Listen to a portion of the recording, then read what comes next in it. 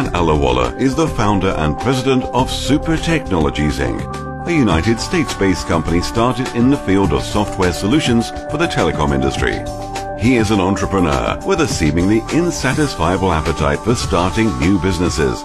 At the age of 13, he founded his first company called Pakistan Computers in Pakistan, and by the age of 16, he created Commodore computer accessories including voice digitizers, modems, and speed increasers whilst he was in high school.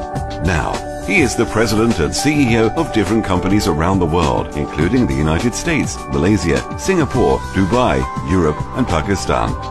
Some of his apparent and most significant ventures are DIVX.net, Virtual Phone Line, Superphone, Muntu Video Productions, Techistan Magazine, TV Pakistan, Paki.com, IPPABX.com, Health Management System, School Management System, Building Management System, and Rayan Autos. Rehan Allahwala is the expert in the field of VoIP, ERP systems, CRM systems architecture, VoIP network design, and international marketing. He regularly speaks on these topics in conferences and seminars around the world. Rehan Allahwala is the keen contributor in philanthropic works and supports various NGOs and charity foundations. He also founded the Rehan Foundation with the mission to eradicate poverty from the world. In this process, he has started Rehan School, Rehan University, Rehan Training, and is creating 100 small business models that can be started with only $100 with a goal of creating 1 million businesses at least in the next few years.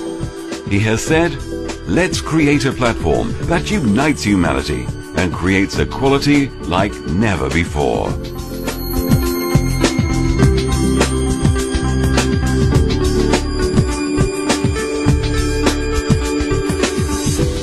Welcome to The Query. This is Zain Khan. Today we're going to discuss humanity and peace through social media. Today the guest of our show is a social media icon and he's also a social activist. Welcome to our show, Rehan Allahwala. This is Zain Khan. It's a pleasure to have you on The Query. Thank you, Zain, for inviting. Uh, Rehan Allahwala, let's get to the first question. In the age of social media, how important uh, is social media in, in bringing humanity together, in uniting them? So, um, in my opinion, what um, has happened because of the internet has is that you know the whole world has become one ocean, and on top of that ocean's layer, um, Facebook, LinkedIn, Twitter, especially Facebook, in my opinion, allows us to create a collective brain uh, for humanity. So people who are far away, like you are sitting in New York, I'm in far away, we're collectively learning, we're collectively sharing, we're collectively uh, growing together and um, trying to make progress in whatever our goals are uh, for the world. So it's no longer a single brain trying to work on something, it's a collective brain, in my opinion, what Facebook allows us to do. And as more and more social networks will appear, as more and more bandwidth will appear, as um, virtual reality glasses will appear, this collective brain will become more and more powerful, and hopefully we can use it for the betterment of the humanity. That's how I see it. Um, you know, social media, you know, doing collective good for the world. Um, Rehan, you being a, a social media activist, um, what do you advise to your viewers as to how they should use their social media productively? So, um, I suggest everyone in the world to live their life, the public life which they're living, as publicly as possible. Number one. Number two, they should have a, at least a decent photo on their profile and turn on their follower function so that whatever their their thing is, whatever their specialty is, the world can cling on to them and learn from them without them even trying to do that. So they become the inspiration which they're supposed to be for the world. So they don't really have to go and change the world. They just work on themselves and as a byproduct of being who they are, they inspire a lot of a lot of people. So for example, say Zain um, does this and that, even if he goes out and and has a Starbucks if his, if his followers are from all over the world, because remember, we're no longer living in one country anymore. We can have followers from everywhere, and we will have followers from everywhere in the world. We are trans, we are giving those ideas of having a cup of coffee in a Starbucks in New York to somebody in Zambia or in Pakistan or in Guyana or Madagascar, where these Starbucks have not reached yet.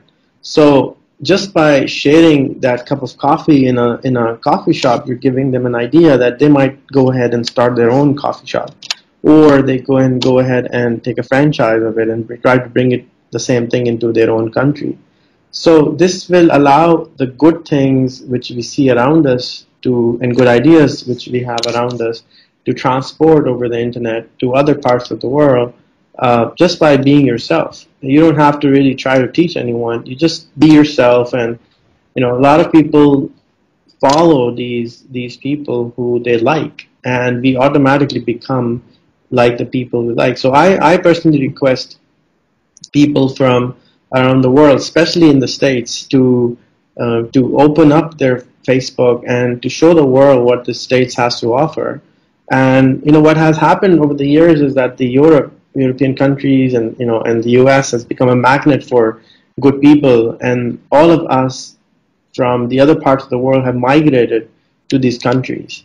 And the good brains of these countries have left the country. So we can use Facebook to to teach the people who are left behind and show them the ideas and show them the values of the states um, over Facebook so that the whole ideology and the good things which we are doing you know gets transported over the web.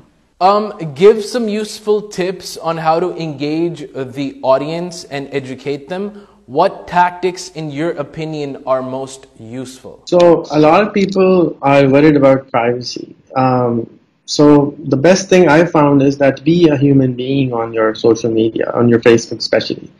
Uh, when you're having a cup of coffee, or when you're having a when you're having a meal, um, share that with the rest of the world because the most intimate thing we can do when you meet, so say I meet Zain, and the most intimate thing Zain can do is Zain can say, you know what, come over to my home and we'll have a family meal together. Um, and that's the most closest you can bring to someone. You're opening up your, your house, your home to someone to come in and you're giving them your trust.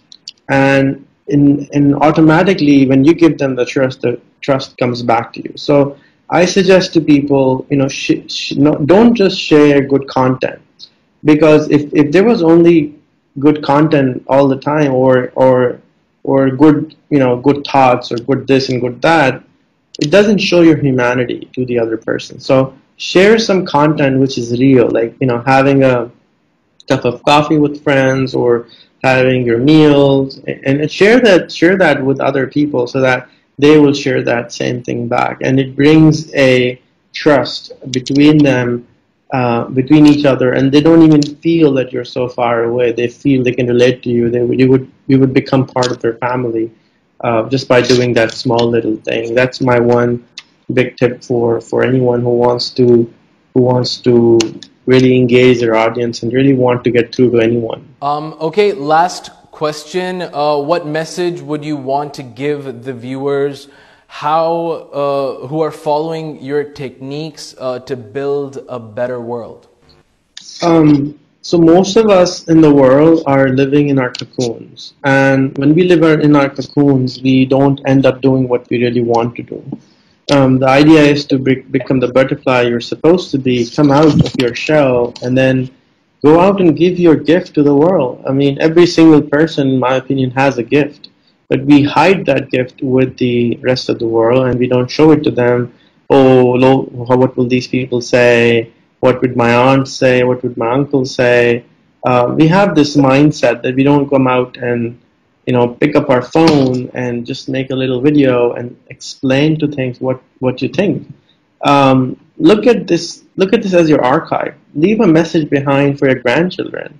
Um, you know, these videos will be there, and people will be looking at it for the rest of the human history.